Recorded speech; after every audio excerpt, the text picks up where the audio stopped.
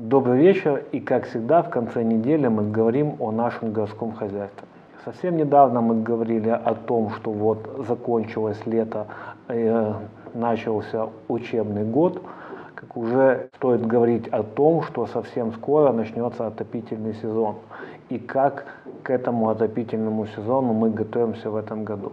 Вовремя и, и полноценно выполнили э, все необходимые подготовительные испытания. Все работы ведутся по графику, и э, жители нашего города могут не переживать, отопительный сезон в этом году начнется вовремя.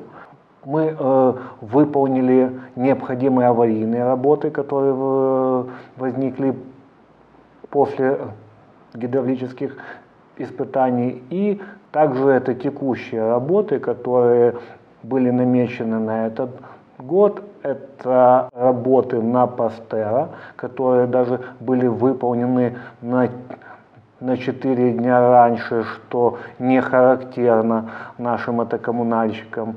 Сейчас это работы ведутся по улице это канатной. На этом бы хотел остановиться поподробнее. Действительно, перекрытие улицы Канатной э, вызвало ряд неудобств э, жителям нашего города. В первую очередь это те заторы, которые это появились в центре города.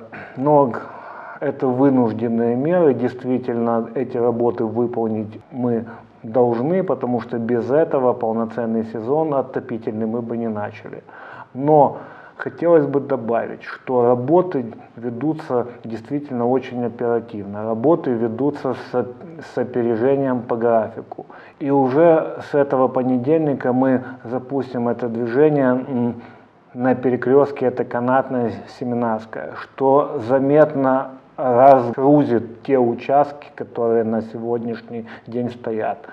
Также э, во избежание разговоров о том, что работы ведутся медленно, либо не ведутся вообще, мы установим веб-камеры и уже с понедельника в онлайн-режиме э, все жители нашего города, кто хочет, у кого э, есть желание, могут э, посмотреть, ведутся ли работы, как активно они ведутся и на каком этапе находятся. Запустить улицу канатную, полноценно пустить по ней это движение, мы собираемся с опережением это, э, нашего графика. Также из э, ряда фейковых новостей хотелось бы э, вспомнить о той, той информации, которая недавно появилась, это о том, что те те паркоматы, которые мы устанавливаем на это коммунальных парковках, якобы вовсе не коммунальные, и деньги это поступают не в, не в бюджет города, а это в карманы тем либо иным это чиновникам. Хотелось бы сказать, что за последние ну, два месяца на парковке на площади Екатерининской город заработал 84 тысячи это парковочного сбора. Это с это тарифом 5 гривен за час. То есть это достаточно большая сумма. До этого таких сумм с этой парковки город не, не получал. В дальнейшем это, э, наши городские муниципальные это парковки будут это появляться, развиваться. Мы так как говорили, сначала работаем по историческому центру города, и потом будем это развиваться уже и на спальные районы. Ну и немного о зеленых насаждениях нашего города. А, недавно говорили о том, что необходимо э, озеленение улицы Пушкинской, говорили о том, как это должно вы, выглядеть. Так вот, уже э, в виде теста на этой неделе мы засадили один участок зелеными насаждениями. Это хвойные кустарники, можжевельник, которые высадили в начале улицы, это Пушкинской, на первых номерах.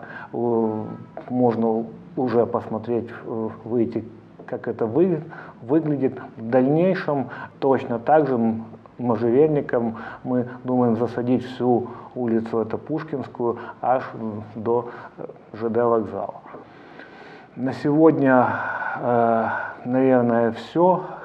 Как всегда, видимся через неделю. Жду ваши вопросы. До новых встреч.